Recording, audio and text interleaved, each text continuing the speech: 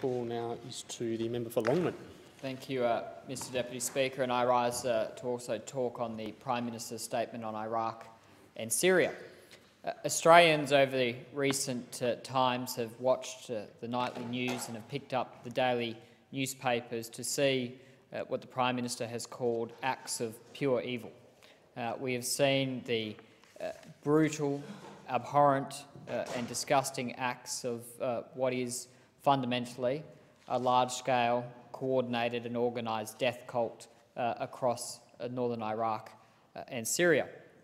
And while uh, the uh, spread of the influence of ISIS uh, obviously represents a significant threat to security and stability in the Middle East and particularly in northern Iraq and Syria, it also presents a very strong domestic security risk here in Australia. Uh, we know that uh, there are about 100 Australians that are fighting uh, with ISIS uh, in northern Iraq and Syria, and they are being radicalised. Uh, they are committing these terrible acts, uh, and there is, of course, the potential for them to bring that mindset, that approach, and all the associated risks that go with that back uh, to our shores and present a significant domestic security risk. So uh, I strongly support uh, the actions uh, of the Australian government uh, in uh, northern Iraq. first and foremost, we are participating in a strong humanitarian program. President Obama said that the religious and ethnic minorities that are facing severe persecution at the hands of ISIS, being forced to either convert uh, or effectively beheaded. Uh, uh, those religious and ethnic minorities in northern Iraq are facing, uh, as President Obama said, potential genocide. Uh, and Australian participation in the humanitarian effort has ensured that those people can survive in the mean term and hopefully at one point be free from that persecution. And if I can say briefly, Mr Deputy Speaker, in the last few years I've been fortunate enough to spend some time with our men and women who serve out of our Minhad Air Base in the UAE, which is where we provided these humanitarian airdrops through uh, two C-130 Hercules, and I've, I've been on those Hercules with the, uh, the air crew, and they are incredibly uh, professional and dedicated service men, men and women who are uh, always have the humanitarian mission at the front of mind, always have that compassionate approach, approach at front of mind, and, and don't think twice before they put themselves in harm's way. So can I commend them uh, on the work that they've done on behalf of, uh, of, of, all Australians. Uh, we should all be proud of the effort that they've done in delivering uh, that humanitarian uh, program.